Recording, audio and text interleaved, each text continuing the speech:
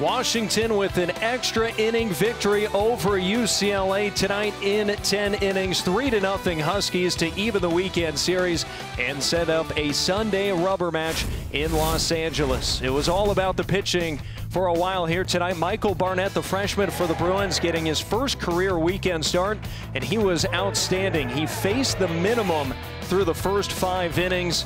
Three strikeouts, did not allow a hit, just a couple of walks.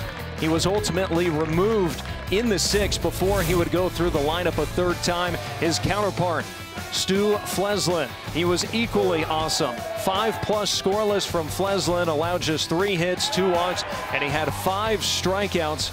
Constantly had UCLA off balance and was able to strand runners on base. Each side's bullpens were outstanding as well to pick up after the starters.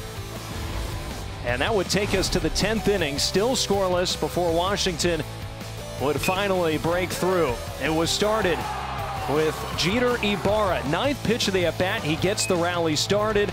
Cole Miller with a bunt single, able to beat out the throw at first. Then with two men on, Sam DeCarlo singling through the left side.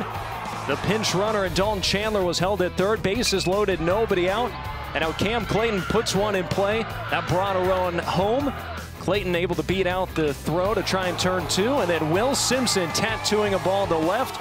RBI double for Simpson. Johnny Tincher would add another run moments later. Bouncing ball through the left side to score Simpson to cap the scoring for Washington. UCLA would just get a hit in the bottom half of the 10th. As Josh Emanuels picks up the win, he went three scoreless. Washington hands UCLA their first loss at home this season. The rubber match Sunday at noon on Pac 12 Networks.